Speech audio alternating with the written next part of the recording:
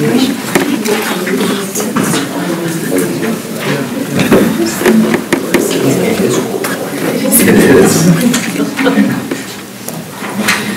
right, we are back in session at eight eighteen.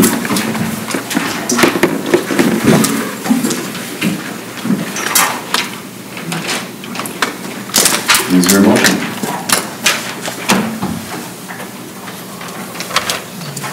Um,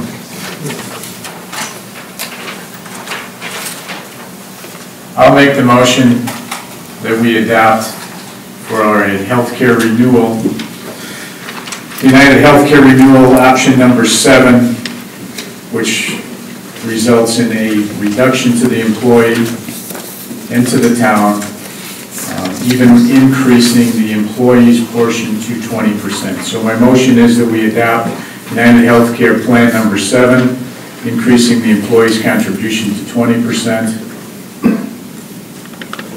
And I so move. Jim, can we add to that, the United Healthcare Plan identified as DE-7 with IJ? Absolutely. Is there a second? I'll, I'll second and then just ask for a point of clarification simply, Mr. Chairman.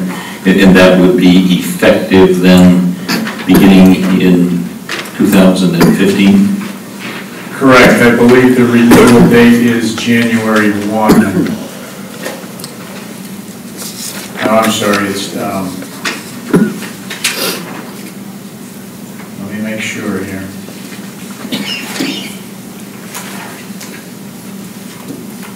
Is that 12 months?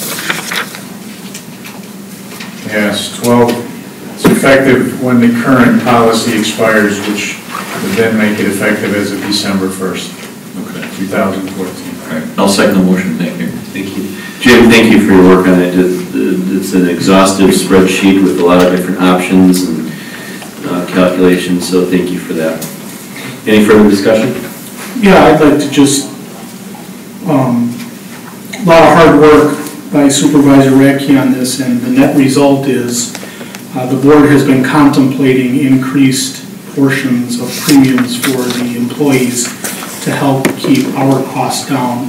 And the work that Jim put into this, while he mentioned that we're going from the employees paying fifteen percent of monthly cost to twenty percent in monthly cost, every employee is going to enjoy a substantial reduction in dollars paid on a monthly basis. And in addition to that, the town is going to enjoy a substantial reduction in our monthly insurance costs. So um, in today's environment, that's, that's a heck of a feat. Thank you. Anything further?